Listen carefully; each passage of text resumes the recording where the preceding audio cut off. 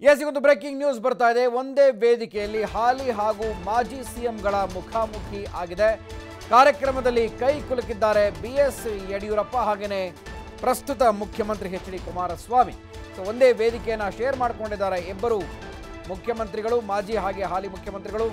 ಒಂದೇ ವೇದಿಕೆಯಲ್ಲಿ ಅಕ್ಕಪಕ್ಕ ಕುಳಿತಿದ್ದಾರೆ ಮಾಜಿ ಹಾಗೆ ಹಾಲಿ ಸಿಎಂಗಳು ರಾಜಕೀಯ ಭಿನ್ನಾಭಿಪ್ರಾಯಗಳ ಮಧ್ಯೆ ಈ ಕಾರ್ಯಕ್ರಮದಲ್ಲಿ ಒಂದೇ ವೇದಿಕೆಯನ್ನ ಇಬ್ಬರು ಹಂಚಿಕೊಂಡಿದ್ದಾರೆ. ಒಂದೇ ವೇದಿಕೆ ಮೇಲೆ ಅಕ್ಕಪಕ್ಕ ಕುಳಿತು ಕಾರ್ಯಕ್ರಮದಲ್ಲಿ ಕೈ ಕೈ ಹಸ್ತಲಾಘವ ಮಾಡಿದ್ದಾರೆ. ಸೊ ಇದು ಅಚ್ಚರಿ ವಿಚಾರ. ರಾಜಕಾರಣ ಏನೇ ಇರಬಹುದು, ಆದರೆ ವೇದಿಕೆಯಲ್ಲಿ ಹಾಲಿ ಮತ್ತು ಮಾಜಿ ಸಿಎಂಗಳ ಸಮಾಗಮಕ್ಕೆ ಕಾರಣ ಆಗಿದೆ ಸುತ್ತೂರು ಮಠದ ಕಾರ್ಯಕ್ರಮ.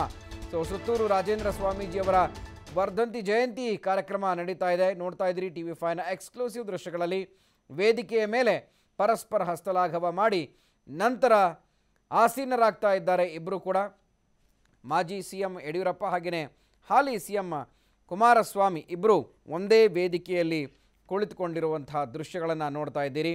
ಸೊ ರಾಜಕೀಯ ವೈರುಧ್ಯಗಳು ಪಕ್ಕಕ್ಕಿಟ್ಟು ಈ ಒಂದು ವೇದಿಕೆಯಲ್ಲಿ ಇಬ್ಬರು ಆ, ವೇದಿಕೆಯನ್ನು ಹಂಚಿಕೊಂಡಿದ್ದಾರೆ. ಸೊ ಇದು ಬೇರೆಯವರಿಗೆ ಯಾವ ರೀತಿ ಕಾಣುತ್ತೆ? ಈಗ ಪರಸ್ಪರ ಆರೋಪ ನಡೀತಾ ಇರುತ್ತೆ ಪ್ರತ್ಯಾರೋಪ ನಡೀತಾ ಇರುತ್ತೆ. ಆದರೆ ಈ ಒಂದು ಕಾರ್ಯಕ್ರಮದಲ್ಲಿ ಇಬ್ಬರು ಸಿ ಎಂಗಳು ಅಂದರೆ ಮಾಜಿ ಹತ್ತೆ ಹಾಲಿ ಸಿ ಎಂ ಇಬ್ಬರು ಕೂಡ ಒಂದೇ ವೇದಿಕೆಯನ್ನು ಹಂಚಿಕೊಂಡಿದ್ದಾರೆ. ಸೊ ಇದು ಇಬ್ಬರನ್ನು ಒಟ್ಟಿಗೆ ನೋಡುವಂಥ ಇಬ್ಬರೂ ಪಕ್ಷದವರಿಗೆ, ಎರಡೂ ಕಾರ್ಯಕರ್ ಎರಡೂ ಪಕ್ಷದ ಕಾರ್ಯಕರ್ತರಿಗೆ ಒಟ್ಟಿಗೆ ಪರಸ್ಪರ ನೋಡುವಂತಹ ಸೌಭಾಗ್ಯ ಸಿಕ್ಕಿದೆ ಅಂತಲೇ ಹೇಳ್ಬೋದು ಹಾಗೆಯೇ ಸುತ್ತೂರು ಮಠದಲ್ಲಿ ನಡೀತಾ ಇರುವಂಥ ಕಾರ್ಯಕ್ರಮ ಇದು. ಸೊ ಇಲ್ಲಿ ಪರಸ್ಪರ ಹಸ್ತಲಾಘವ ಮಾಡಿಕೊಂಡಿದ್ದಾರೆ. ಉಪರಾಷ್ಟ್ರಪತಿಯ ಸಮ್ಮುಖದಲ್ಲಿ ಇಬ್ಬರು, ಹಾಯ್, ಹೇಗಿದ್ದೀರಿ? ಅನ್ನೋ ಒಂದು ವಿಚಾರ ವಿನಿಮಯವನ್ನು ಮಾಡಿಕೊಂಡಿದ್ದಾರೆ.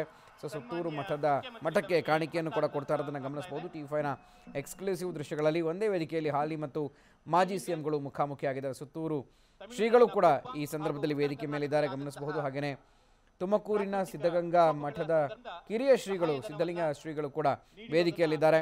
ಉಪರಾಷ್ಟ್ರಪತಿ ವೆಂಕಯ್ಯ ನಾಯ್ಡು ಅವರಿದ್ದಾರೆ. ಸೊ ಈ ಒಂದು ಚೆನ್ನವೀರ ದೇಶಿಕೇಂದ್ರ ಗುರುಕುಲದ ಈ ಒಂದು ಭವ್ಯ ಸಮಾರಂಭದಲ್ಲಿ ಹಾಲಿ ಸಿಎಂ ಬಿ ಎಸ್ ಯಡಿಯೂರಪ್ಪ ಮಾಜಿ ಸಿಎಂ ಬಿಎಸ್ ಯಡಿಯೂರಪ್ಪ ಹಾಗೆ ಹಾಲಿ ಸಿಎಂ ಎಚ್ ಡಿ ಕುಮಾರಸ್ವಾಮಿ ವೇದಿಕೆಯನ್ನು ಹಂಚಿಕೊಂಡಿದ್ದಾರೆ. ಈ ಹಿಂದೆ ಎಸ್ ಈ ಕುರಿತು ನಮ್ಮ ಮೈಸೂರಿನ ಪ್ರತಿನಿಧಿ ಸುರೇಶ್ ಹೆಚ್ಚಿನ ಮಾಹಿತಿಯನ್ನು ಕೊಡ್ತಾರೆ. ಸುರೇಶ್ ಧಾರ್ಮಿಕ ಕಾರ್ಯಕ್ರಮ ಹಾಗೆಯೇ ಈ ಒಂದು ಕಾರ್ಯಕ್ರಮಕ್ಕೆ ಮೈಸೂರಿಗೆ ಬಂದಿದ್ದಾರೆ ಇಬ್ಬರು. ಅಂದರೆ ಒಬ್ಬರು ಮಾಜಿ ಮುಖ್ಯಮಂತ್ರಿ ಒಬ್ಬರು ಹಾಲಿ ಮುಖ್ಯಮಂತ್ರಿ. ರಾಜಕೀಯ ಪರಸ್ಪರ ದ್ವೇಷ ಮತ್ತು ಕೆಸರರ ಚಾಟವನ್ನು ಬಿಟ್ಟು ಈ ಕಾರ್ಯಕ್ರಮದಲ್ಲಿ ವೇದಿಕೆ ಮೇಲೆ ಕಾಣಿಸ್ಕೊಂಡಿದ್ದಾರೆ. ಹೆಚ್ಚಿನ ಮಾಹಿತಿ ಸುರೇಶ್ ಇದರ ಬಗ್ಗೆ.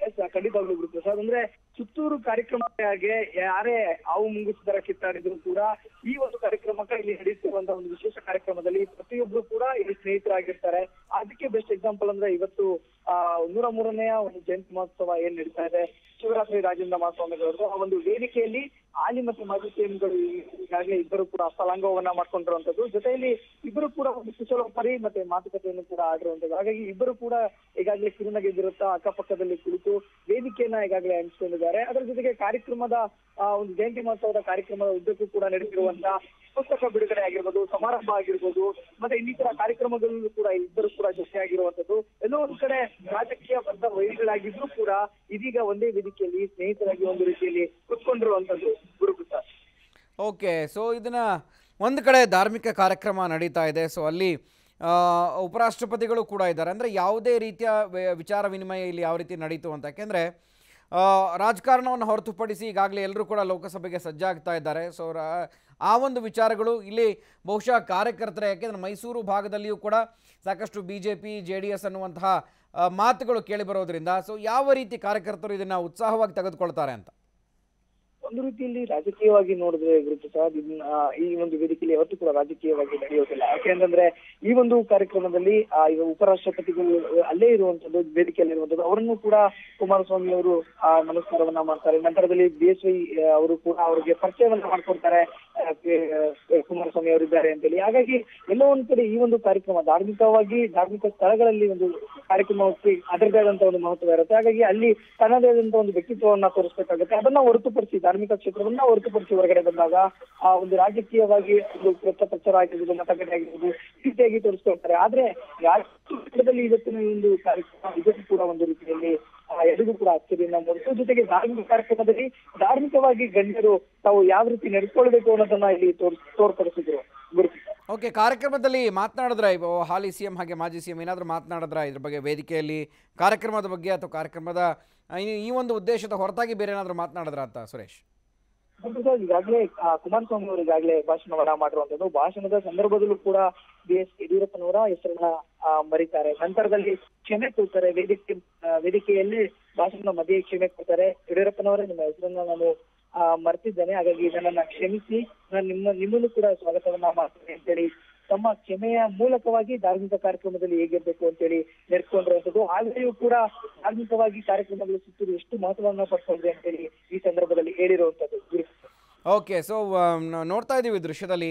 ಉಭಯ ಕುಶಲೋಪರಿ ಸಾಂಗತ ಜೋರಾಗಿ ನಡೀತಾ ಇದೆ. ಅಂದರೆ ಯಾವುದೇ ರೀತಿಯ ಲವಲೇಶಗಳು ಇಲ್ಲದ ಹಾಗೆ, ಅಂದರೆ ಇಂದಿನ ದ್ವೇಷಗಳು ಯಾವುದು ಇಲ್ಲದೇ ಇರೋ ಹಾಗೆ, ಅದನ್ನು ಹೊರತುಪಡಿಸಿ ಆ ಒಂದು ವೇದಿಕೆಯಲ್ಲಿ ತಾವಿಬ್ಬರು ಕೂಡ ಆ ಒಂದು ವೇದಿಕೆಯನ್ನು ಹಂಚಿಕೊಂಡಿರುವಂಥದ್ದು. ಸೊ ಅಲ್ಲಿ ಸಾಕಷ್ಟು ಜನ ಕಾರ್ಯಕರ್ತರು, ಅದ್ರ ಜೊತೆಗೆ ಮಠದಲ್ಲಿ ಕಾರ್ಯಕ್ರಮ ನಡೀತಾ ಇರೋದ್ರಿಂದ ಮಠದ ಭಕ್ತರು ಕೂಡ ಇರ್ತಾರೆ. ಸೊ ಒಂದು ರೀತಿಯಾಗಿ ಯಾಕೆಂದರೆ, ರಾಜಕೀಯವನ್ನು ಹೊರತುಪಡಿಸಿ ಕೂಡ ಮಠ ಸಾಕಷ್ಟು ಹೆಸರನ್ನು ಮಾಡಿರುವಂಥದ್ದು ಸುತ್ತೂರು ಮಠ ಅಂತಂದರೆ, ಇಡೀ ಪ್ರಪಂಚ ವ್ಯಾಪಿಯಾಗಿ ಪ್ರಸಿದ್ಧವಾಗಿದೆ.